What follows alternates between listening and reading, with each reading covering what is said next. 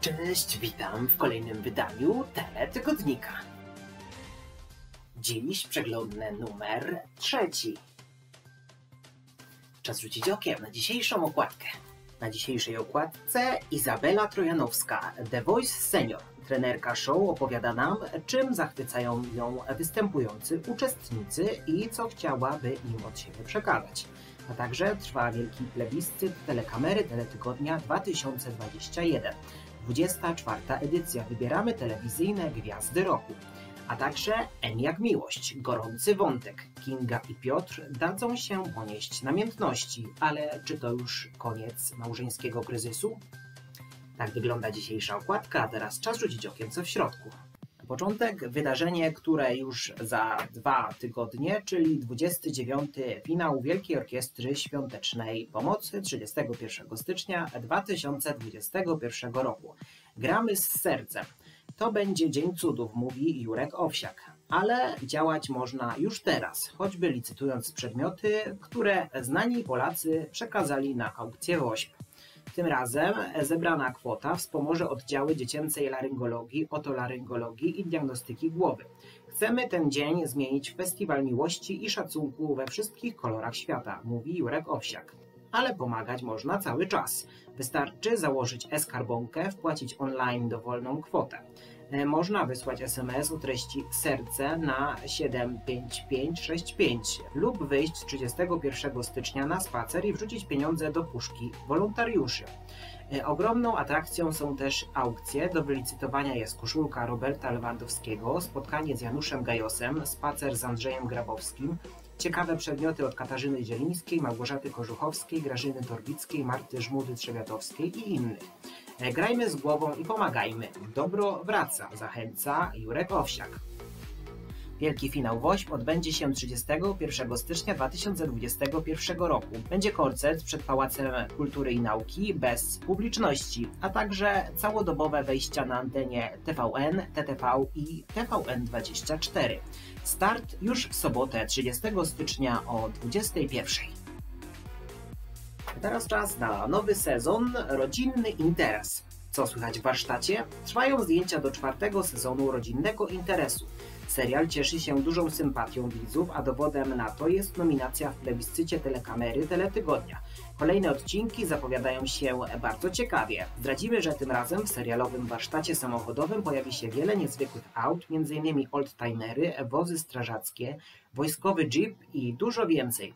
Premiera czwartej serii, 50 nowych odcinków wiosną w TV Puls. Czas teraz na hity, seriale i wśród tego tygodniowych propozycji jedna nowość Urodzona Gwiazda. Polka Klaudia studiuje w Leningradzie. Paweł, który uczy się w konserwatorium i ma swój zespół, jest zachwycony jej głosem.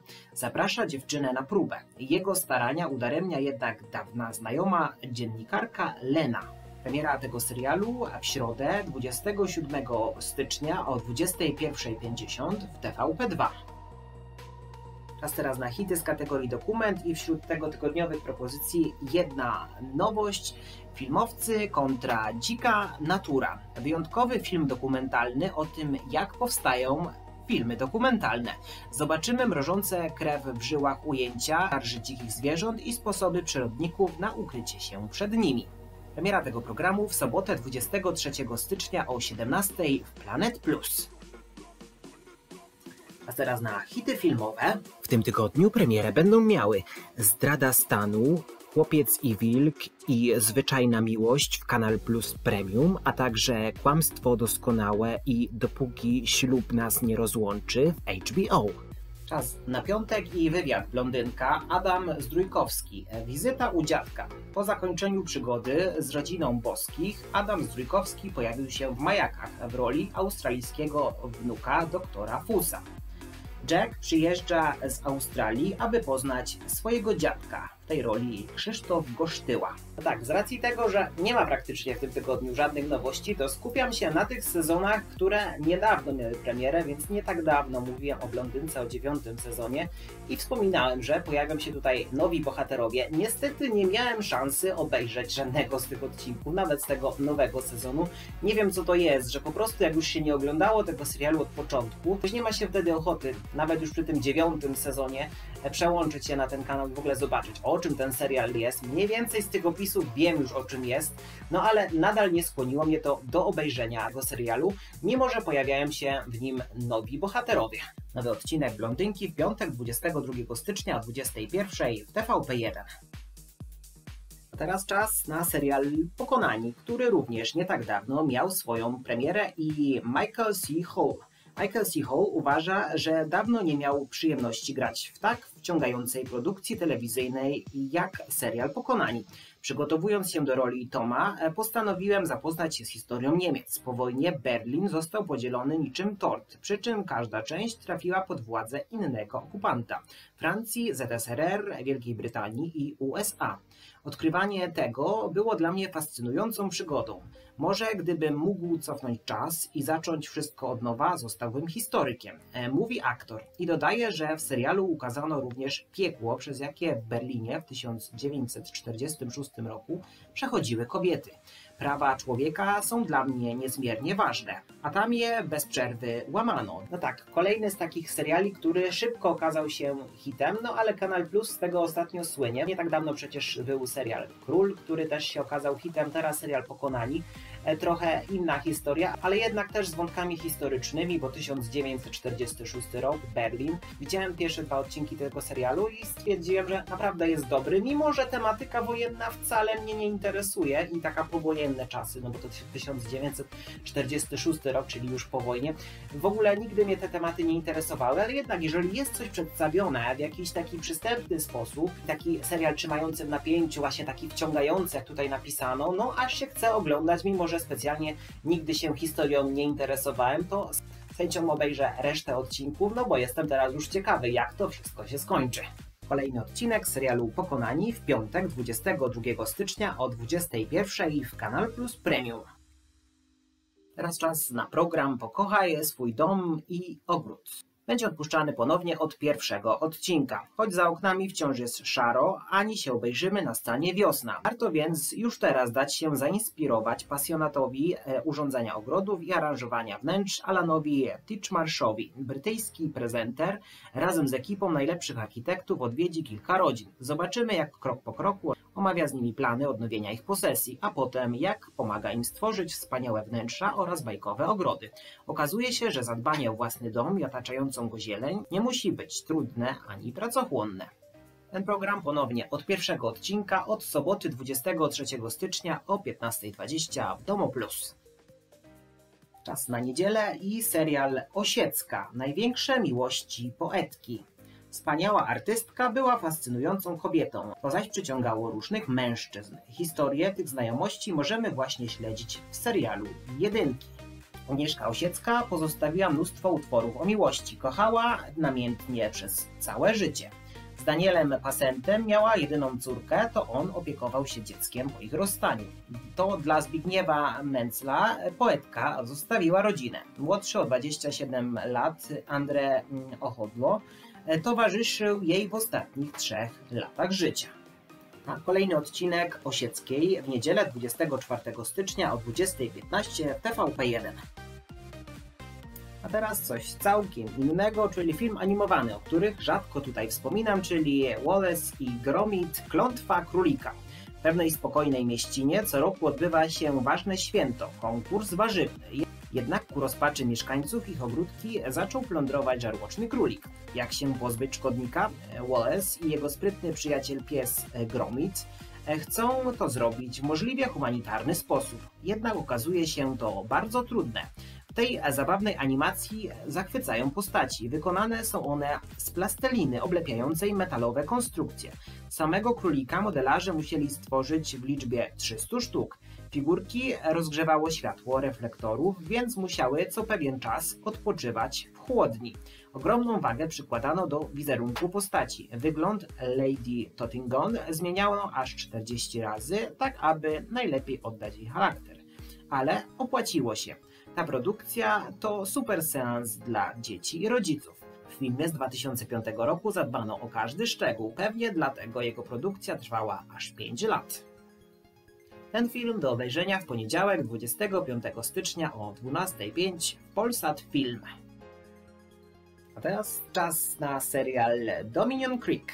E, Będzie puszczany od pierwszego odcinka. Trzech Irlandczyków, czyli bracia Connolly, e, podobnie jak wielu ich rodaków, marzy o zdobyciu majątku w Ameryce. Ruszają więc w 1890 roku z Montany do Yukonu nad złotonośną rzekę Klondike. Osiadają w Dominion Creek i wkrótce stają się właścicielami praw do kopalni złota. Ale to wcale nie oznacza, że ich życie stanie się łatwiejsze. W serialu Kanadę zagrała Irlandia, Yukon zastąpiły krajobrazy hrabstwa Galway.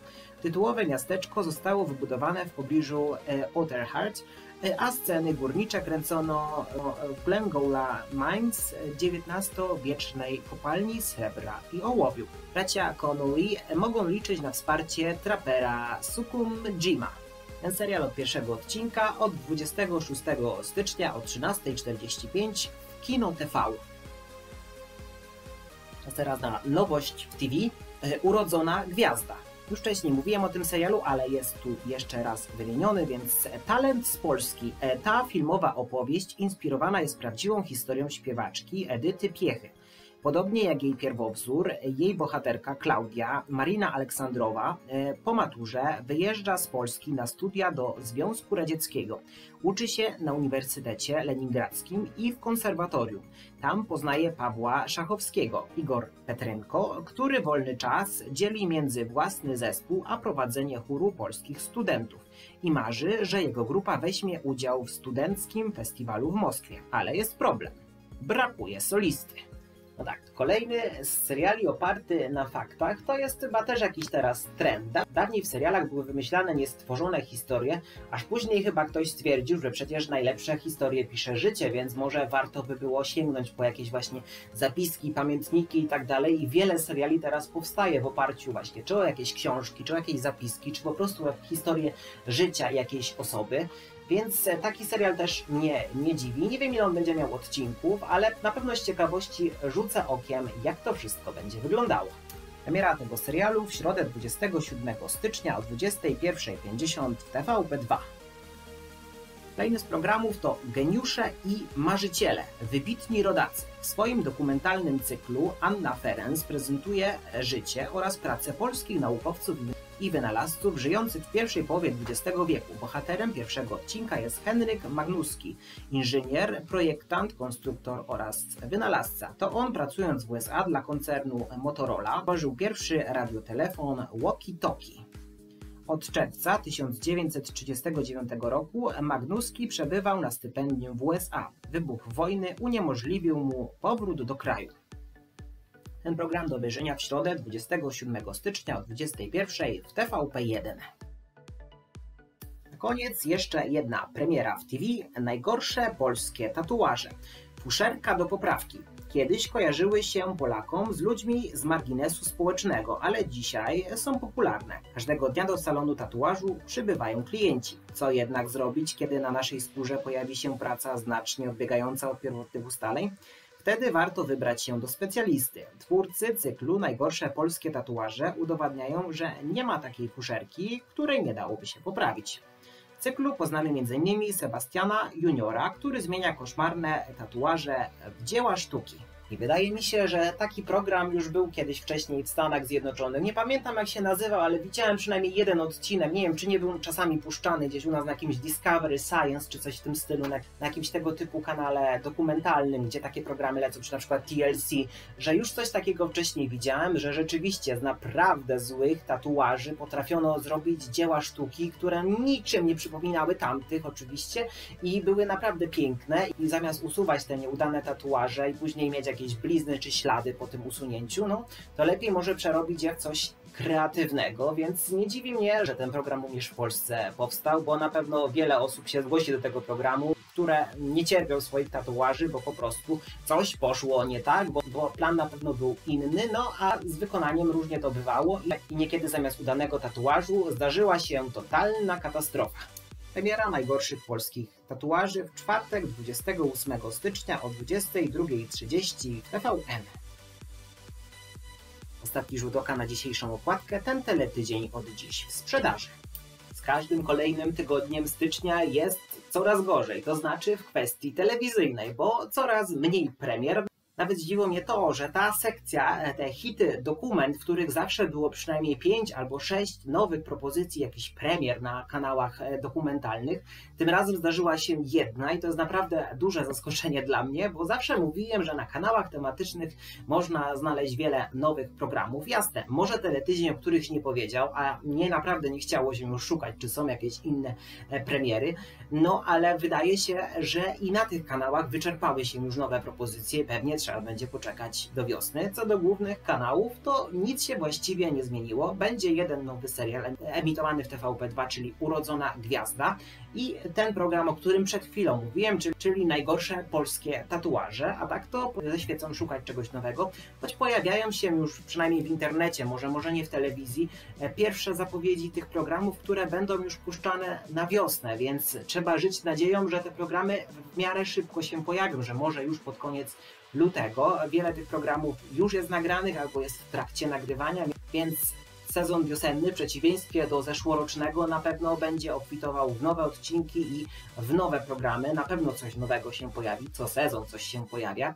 No a póki co jest taki czas zastoju. Wydawało mi się na początku, po dobrym starcie w pierwszych dwóch tygodniach, że pojawiały się nowe propozycje, że ten trend będzie postępował i że będzie wypełniony ten międzysezon, tak by trzeba było nazwać, zimowy, że zostanie wypełniony jakimiś nowościami. Jednak tak się nie stało. Zostają dwie rzeczy. Albo oglądać powtórki, których nie zdążyliśmy obejrzeć w sezonie jesiennym, bo takie są teraz puszczane, albo przerzucić się na platformę VOD i tam szukać nowości. Co tydzień praktycznie pojawia się coś nowego i wiem, że już to kiedyś mówiłem, no ale co zrobić? No ale parafrazując znane powiedzenie, sorry, taką mamy telewizję, że chcąc jakieś nowości, musimy ich szukać w internecie.